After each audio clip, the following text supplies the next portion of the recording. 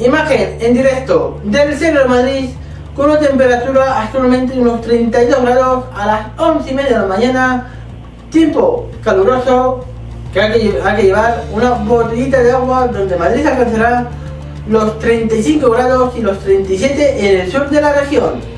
Muy buenos días, saludos, bienvenidos a este programa más grande directo Madrid que comienza ahora aquí en verano. Vamos a repasar la actualidad y lo hacemos contándoles que los bomberos trabajan en los incendios originarios en Miraflores de la Sierra, aquí en Madrid, y en la granja, en Segovia. En la, en la buena evolución de los labores de extinción de las próximas de las últimas horas después de que se haya quemado más de 600 hectáreas, de las cuales 150 se encuentran en el Parque Nacional de Guadarrama. El tráfico se complica en Madrid, en los cortes de la calle Bailén y en varios túneles del centro. Los embalses se encuentran peor que el año pasado, concretamente a medias con un 61,5 de su capacidad. El motivo, las altas temperaturas que hacen que el consumo no deje de aumentar.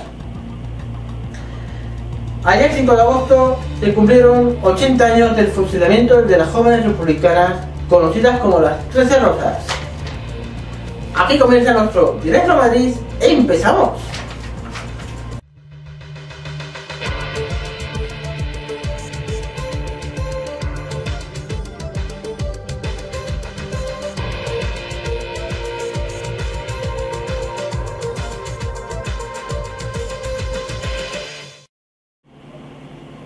Pues empezamos este directo a Madrid recordándoles que hay carriles cortados en la, eh, por la remodelación de Plaza de España y permanecerán todos los carriles de la calle Bailén cortados desde su intersección con la cosa de San Vicente hasta la Plaza Oriente y se podrá acceder al parking por el acceso desde la calle Mayor.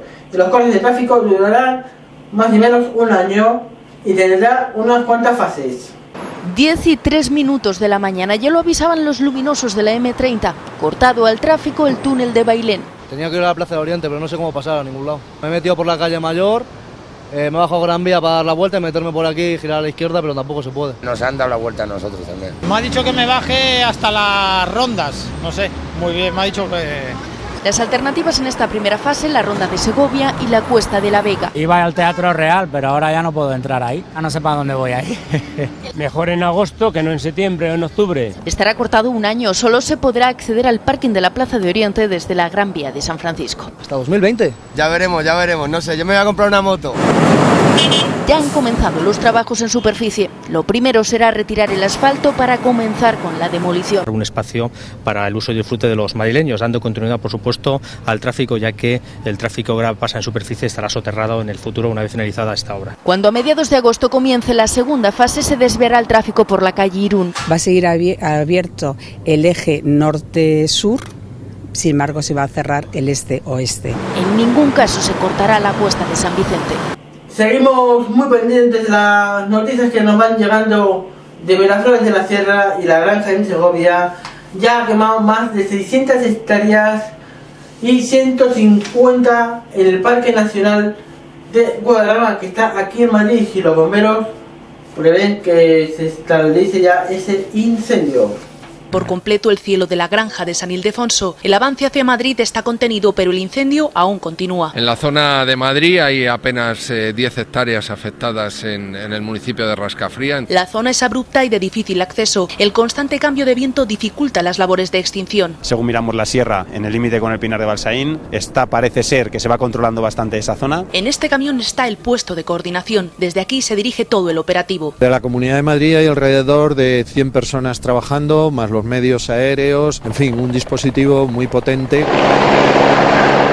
Y a primera hora de la mañana estaba controlado el 90% del perímetro, pero ha habido una reproducción en un barranco que no se pudo cerrar anoche. Los medios aéreos recargan agua en el embalse del pontón y se dirigen a sofocar el incendio. Después la UME acaba con los restos que aún continúan ardiendo. Como pueden ver, ahora mismo está concentrados el, el carrusel de hidroaviones sobre esa zona, pues serán los medios terrestres los que tengan que llegar hasta los puntos y acabar de, de liquidar el incendio. Al lado de esta urbanización se sitúa el foco del incendio. El SUES está esta calle para arriba, más para arriba, y ya se ve que es provocado porque está justo pegado a, la, a lo que es la, la carretera y el copón, o sea, está muy mal la cosa. Ahora técnicos de medio ambiente investigan sobre el terreno y tratan de averiguar las causas del inicio del fuego.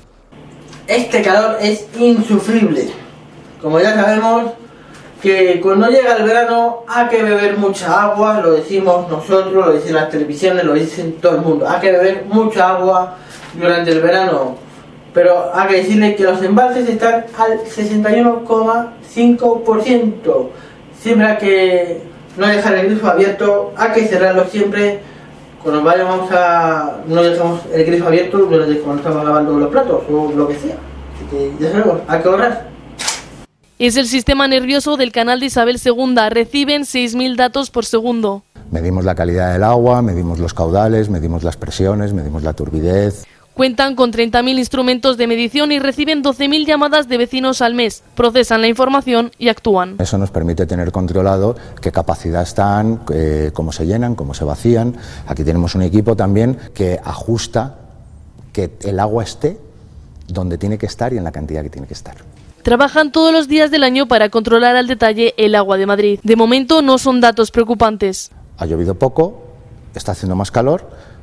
Al hacer más calor, el ciudadano está consumiendo más. Y aunque es un buen momento para hacer un llamamiento al uso responsable del agua, el ciudadano de Madrid por lo general no malgasta. La verdad es que creemos que, que tenemos una ciudadanía ejemplar en ese aspecto.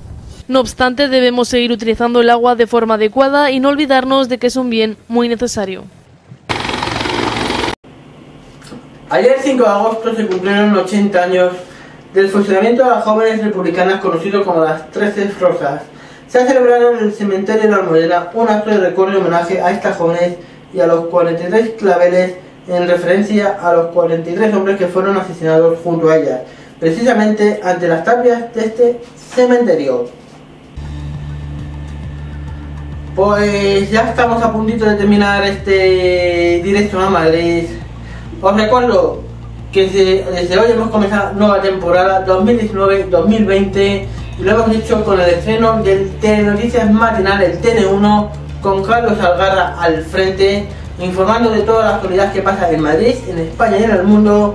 Y hoy ya ha comenzado en su primer día con retraso, ha empezado a las 9 menos 10 de la mañana. Como ya sabéis, siempre algún fallo técnico nos da, nos da imposibilidad de informar a su hora. Así que voy a comenzar un poquito, una hora más tarde, así que no pasa nada. Cosas que nos pasan eh, siempre en los estrenos. Así que nada, Carlos, que estás viendo este directo Madrid, mucha suerte. Y nada más por mi parte. Recordad una noticia llegar en los siguientes bloques informativos de esta casa, el directo Madrid, y en las cuentas de Instagram, Antonio Villas barra baja en YouTube y la cuenta del canal de Twitter, Arriba barra baja TV. Muchísimas gracias a todos por acompañarme. Yo dejo con esta imagen en directo del Cero Madrid con una temperatura de unos 32 grados actualmente. Si vais a salir, una gorrita y una botella de agua. Gracias por acompañarme. Adiós.